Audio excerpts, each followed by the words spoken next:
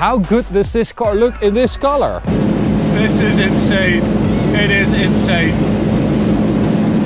What's up ladies and gentlemen and welcome to this POV review by AutoTopNL. My name is Max and today we've got one of the coolest viewer cars we have ever had. This is Andrit's Audi RS7 and it has been tuned quite a bit. So today we're going to show you around it, show you all the cool stuff that Andrit has changed on this car and then we'll take it for a drive towards the Autobahn for an Autobahn blast. But before we begin, don't forget to subscribe and hit the notification bell to receive updates when we upload a new video. Uh, you can check us out on Instagram right there. And if you have a cool car yourself that you would like to have featured on our channel, please send us an email with some info and some pictures and stuff like that. All right, so what do we have? We have an RS7 C8, stock 600 horsepower, 800 newton meters of torque, but this has been tuned quite a bit. Uh, but we'll talk about that a little bit later on. But my God, how cool does this car look? I absolutely love it. This is Tango Red hardly ever see that on an Audi RS. Uh, combined with all the black stuff around the car, I think this is a hell of a spec. I also really like the vanity plate. So this RS Eagle, I, I wish we could do that in the Netherlands, but we can't. I think this looks really cool. Um, but these air intakes here or air inlets, it just, this car is so aggressive. I do have to say, I, I do think that because the A7 uh, already looks so cool, the RS7 doesn't have the same effect as an RS6. So you have a, a, regular A6 and then the RS6 is like super crazy compared to a regular one. But the A7 is already so good looking that the, the difference between an RS7 and uh, an A7 is less big. So Andrit thought so as well and he added a lot of black stuff and a lot of carbon fiber. Uh, he painted his wheels black which I think looks really cool especially because you have these little dimples here in the wheel which I think looks really cool. Uh, Audi ceramic brakes, carbon ceramics, always nice to have with red brake calipers, super nice. Uh, black mirrors, panoramic roof, carbon fiber side skirt, this is his Instagram account, rs underscore eagle 7. Go follow him on Instagram.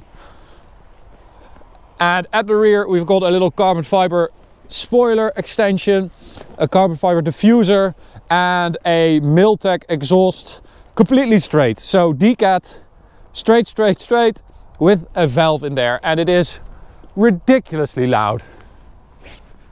It is really super loud. But how good does this car look in this color?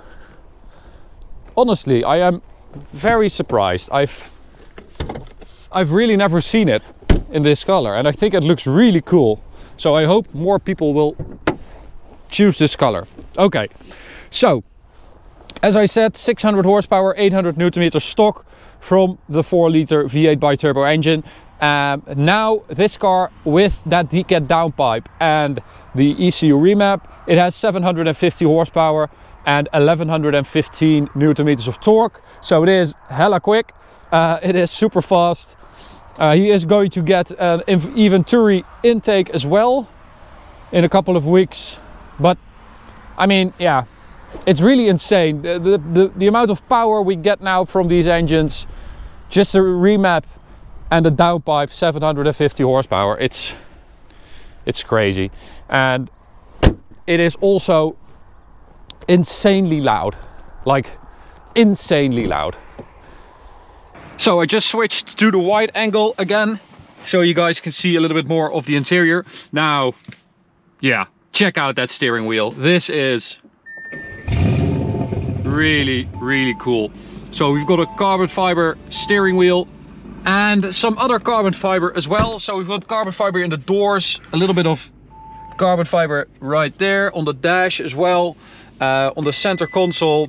And as I said the steering wheel uh, all the carbon has been done by Kova design. And well the steering wheel is really really crazy. It looks so cool with all those angles.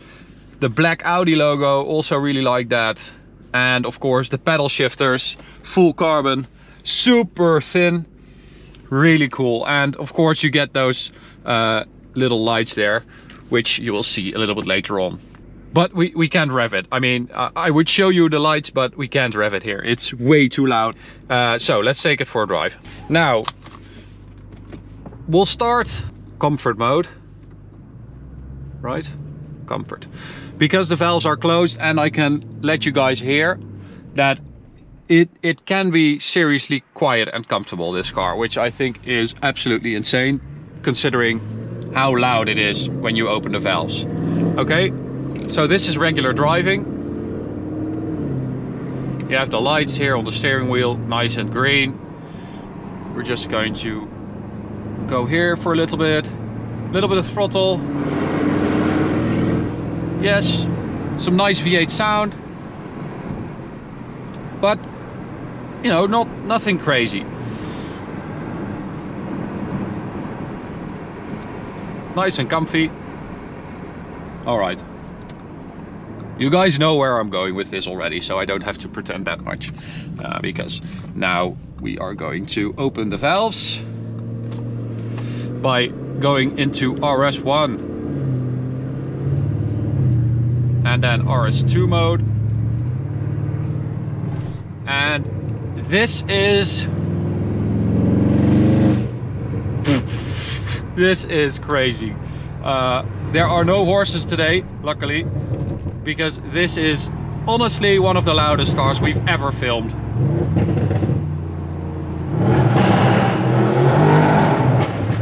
It is absolutely ridiculous.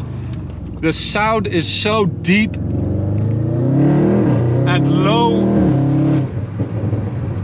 and and it just passes through your body like it's not there. It is totally ridiculous. I don't think we've ever had a car which sounds so thunderous, so low. I mean, you can really hear that there's nothing, nothing there anymore. No silencing, nothing. It is ridiculously loud.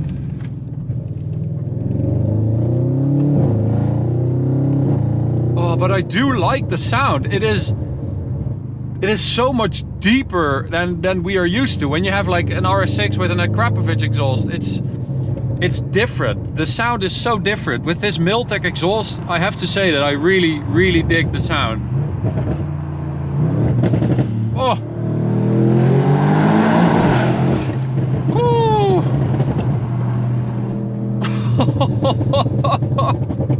what the hell?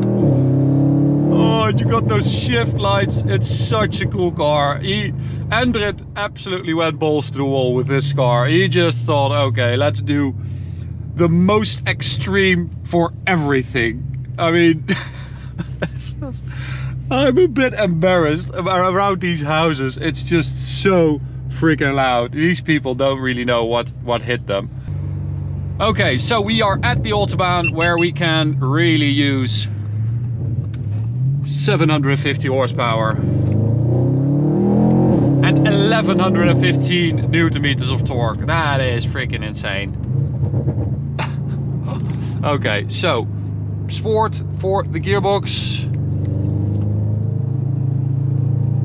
And we'll see if we get some space to really test the performance of the car because if you have seen my review of the RS6 C8, the new one, you know that I'm not really a fan of that drivetrain and the way it performs, especially at high speeds.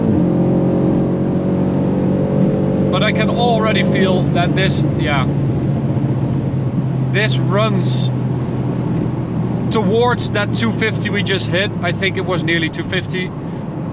It's just so much easier and without that feeling of something keeping you down, holding you down. That's the feeling you have when you drive an RS6 on the Autobahn. You feel like there's much more in there, but it's not really letting you access it. But it is four o'clock in the afternoon, so we do have to be a little bit lucky uh, if we want to get some serious speeds, because it is, as you can see, very busy. All right, so I just figured out that the adaptive suspension in this car is actually pretty insane. Uh, I was driving just normal speed, 150 kilometers, and I was like, oh, it's a little bit unsettled. So I pressed this button, which sets the suspension to normal, and it completely transforms. It's super smooth all of a sudden.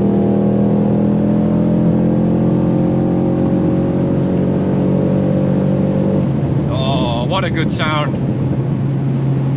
You have that, that really nice V8 growl and then that thunderstorm when you let off the throttle.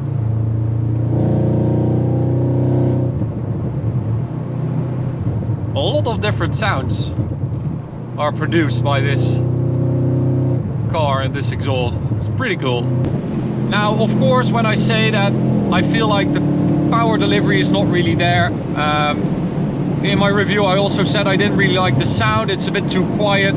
That's, of course, all fixed with this Milltek exhaust and this ECU tune. But, you know, you have to cut Audi some slack. They have to, they have so many regulations uh, and laws to abide by when you just give someone carte blanche and say well I want everything to be gone and to be in the most aggressive setting this is what you end up with.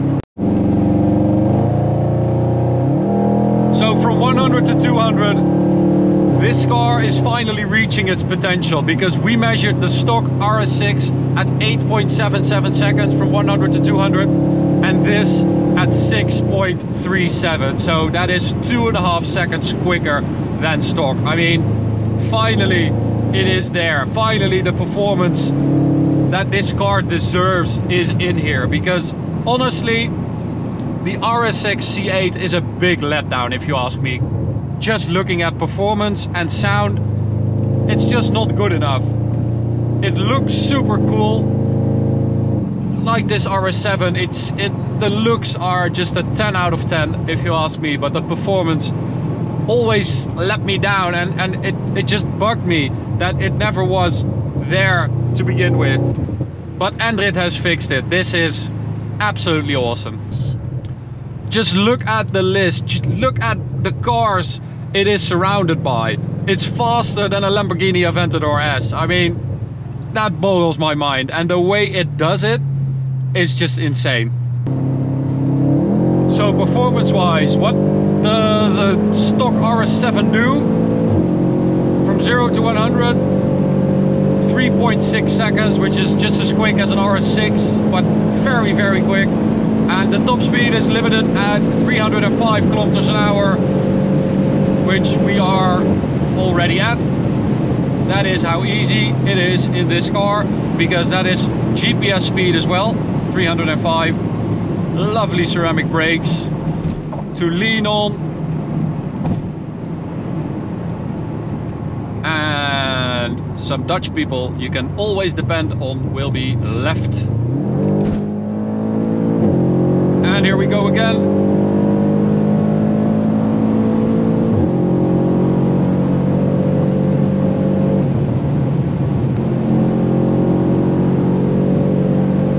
so Wow, that chassis is really comfy now. That is actually super impressive.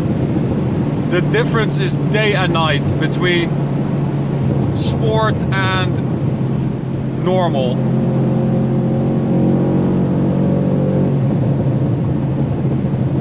Man, what a car. This this is a continent cruiser, this car. Man, it is super comfortable, super quick, and if you want to super loud if you are not in the mood it can be quiet as well you have that steering wheel to add bucket load of drama.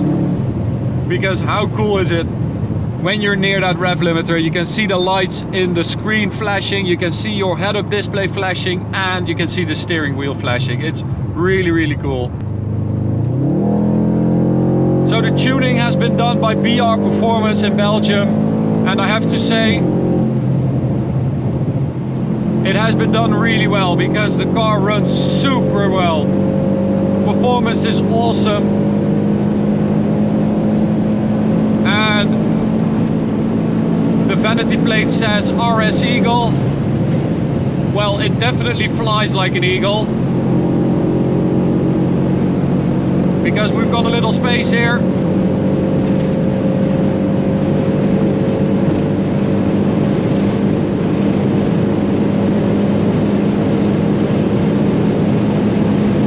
It is super stable, wow. This is insane. It is insane. 332 kilometers an hour.